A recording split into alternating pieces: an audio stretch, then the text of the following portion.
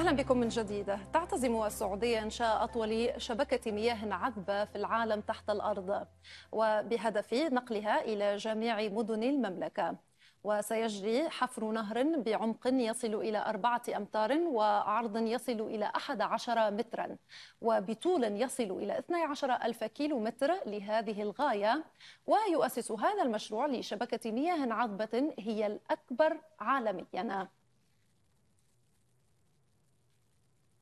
وللمزيد عن هذا المشروع ينضم إلينا من القاهرة سيد عباس شراقي أستاذ الموارد المائية بجامعة القاهرة. أهلا بك سيد أستاذ شراقي معنا. بداية ما أهمية هذا المشروع؟ وكم من الوقت سيستغرق لإنجازه؟ وفق ما لديك من معلومات. اولا تحياتي لحضرتك ولكل السادة المشاهدين وكل عام وأنتم بخير. الحقيقة السعودية كدولة بتقع في أشد مناطق العالم جفافا. السعودية ترتيبها رقم ثلاثة على مستوى العالم في الجفاف بعد مصر وليبيا. وبالتالي الموقع الجغرافي وندرة الأمطار جعلت السعودية تفكر في طرق للحصول على المياه. كان في البداية الحصول على المياه الجوفية غير متجددة وبالتالي بيحدث الآن انخفاض في منسوب المياه الجوفية. ولكن بدأ التوسع في تحلية المياه. السعودية هي الدولة الأولى في العالم في تحلية المياه. تقريبا 25% من المياه المحلاة على مستوى العالم في السعودية لوحدها. تنتج حاليا حوالي 3 مليار متر مكعب مياه محلاة. وبالتالي نقل هذه المياه إلى سكان السعودية اللي هم في مساحة ضخمة جدا أكثر من 2.4 مليون كيلو متر مربع لأن السعوديين موزعين في مساحات كبيرة للغاية. وفي في الداخل بعيد في هناك مناطق يعني كثيرة بعيدة عن الشواطئ لأن إحنا في الشواطئ بيتم تحلية المياه ونقلها لكن الأماكن اللي في الداخل اللي تبعد عن الشواطئ مئات الكيلومترات من أين تأتي بالمياه إذا كانت الأمطار قليلة للغاية؟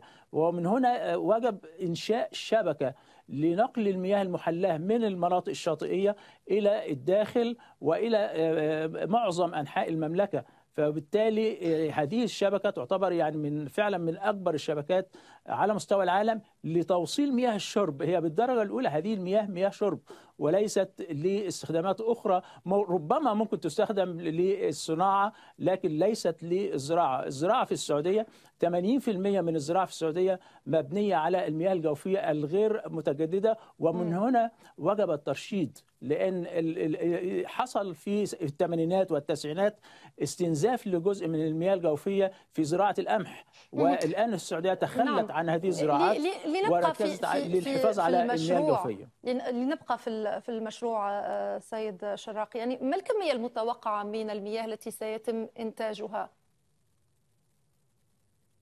حاليا بينتج حوالي 9 مليون متر مكعب يوميا بمقدار 3 مليار متر مكعب سنويا. والسعودية بتخطط أنها تضاعف هذا الرقم في 2030 وده مع التوسع العمراني وزيادة عدد السكان وزيادة احتياجات الإنسان للمياه في الأنشطة المختلفة. ده بيجعل السعودية في أنشطة لتحلية مياه البحر. وتوصيلها هنا بقى ال ال ال ال ما يحدث الآن هو كيفية توصيل هذه المياه إلى جميع المناطق في المملكة. طيب ماذا عن يعني هنا ماذا عن البنى التحتية والاستعدادات والتي من المفترض أن تسبق مثل هكذا مشروع؟ هو الحقيقة يعني بيوجد في المملكة يعني حوالي 20 محطة عملاقة لتحلية المياه. وهذه من أكبر المحطات تحلية المياه على مستوى العالم. والإنشاء حاليا لتوصيل هذه المياه لتوزيعها طريقة التوزيع. فالحقيقة دي ممكن يعني تحتاج إلى سنوات لأن يعني هذا النهر الصناعي وهو عبارة عن أنابيب طولها كما ذكر التقرير ان أو حضرتك 12 ألف كيلو متر من نعم. القنوات وعبارة عن ثلاث أنابيب في معا. فالتوصيل هذه الكمية ده ممكن يحتاج سنوات لأن الحفر وتصنيع المواسير نفسها والتركيب. لكن المحطات موجودة وما زالت المملكة في طريقها للتوسع لمزيد من المحطات. طيب بالمجمل كيف تقيم الوضع المائي في السعودية قبل هذا المشروع وبعده؟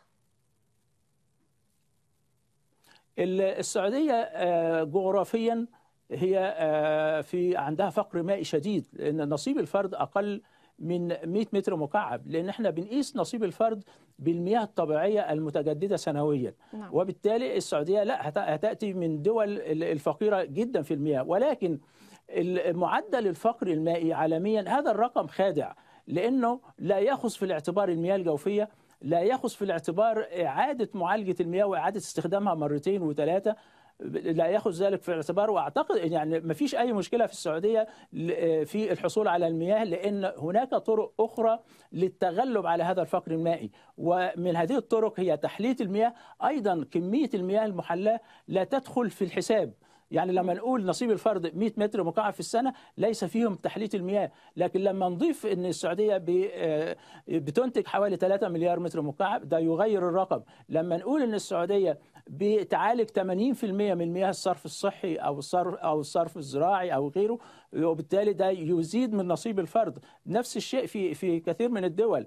ف والباقي يظل هناك فجوة. هذه الفجوة يتم استيرادها من الخارج عن طريق زراعات سواء للسعودية في مناطق زي مناطق إفريقية والحصول على المنتجات الزراعية من الخارج لتعويض هذه الفجوة لأن مستحيل للسعودية أو لمصر أو أو للدول العربية اللي في المناطق الجافة أن يكون عندها اكتفاء ذاتي من الغذاء مع هذه الندرة من الأمطار. طيب تحلية المياه وبهذه الكمية التي تقوم بها السعودية، هل لها أضرار على البيئة؟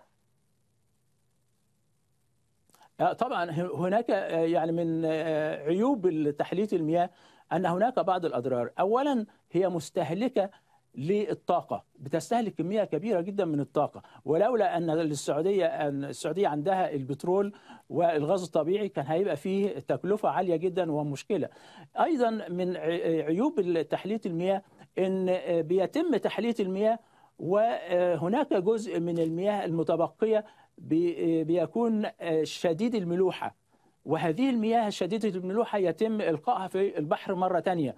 وبالتالي هذه المياه بتزيد الملوحة أكثر وبتؤثر على الكائنات الحية أو, الكائنات البحرية في في هذه البيئة. نعم. بالإضافة إلى أن بعض الطرق القديمة لتحلية المياه عن طريق الغلي المياه المياه المتبقية بتكون حرارتها مرتفعة فبترفع أيضا درجة حرارة المياه. فهناك تأثيرات بيئية وفي طرق للتغلب عليها ولكن إحنا دايما بنقول إن في صراع ما بين البيئة والتنمية. وفي نعم. النهاية لازم ينتصر إن الإنسان هو اللي يحتاج محتاج إحنا البيئة لخدمة الإنسان وليس العكس يعني. طيب هل هذا المشروع بعد إنجازه طبعا قادر على حل أزمة شح المياه في السعودية على الأقل؟ لا هو شح المياه لما نقول شح المياه في السعودية أو في مصر أو في أي دولة أخرى الشح المياه هنا معناه نقص المياه للزراعة وليس لمياه الشرب. نعم فقر المائي لأن ما فيش مشكلة في السعودية التحليل مثل ما ذكرت الفقر المائي هنا نقصده للزراعة. بالفقر المائي لأن الفقر المائي ده بنقصده للزراعة لأن الزراعة بتستهلك في الدول العربية 80% من الموارد المائية. أما استخدامات الشرب أو في الاستخدامات المنزلية نعم. بتستخدم من 5 إلى 10% فقط وبالتالي تحلية المياه مع التكلفة العالية نعم. بي... واستخدامها في المنازل يبقى اقتصادي لكن استخدامها في الزراعة ده مكلف للغاية لأن المتر المكعب بيتكلف تقريبا دولار. لكن الإنتاج الزراعي المتر المكعب بيعطي منتجات زراعية بحوالي نص دولار. طب إزاي إحنا نكلف المتر بدولار ونزرع به يجيب نص دولار فقط؟ وبالتالي إحنا ما زالت هذه هي المشكلة الحالية. وإحنا يعني في طريقنا في تطوير الأبحاث للوصول إلى تقنية جديدة تحلل المياه بتكلفة أقل نعم. وتستهلك طاقة أقل. لو لو قدرنا نصل إلى هذه النقطة يبقى إحنا حلينا جزء كبير من مشاكل العالم. نعم شكرا لك أستاذ عباس شراقي أستاذ الموارد المائية بجامعة القاهرة.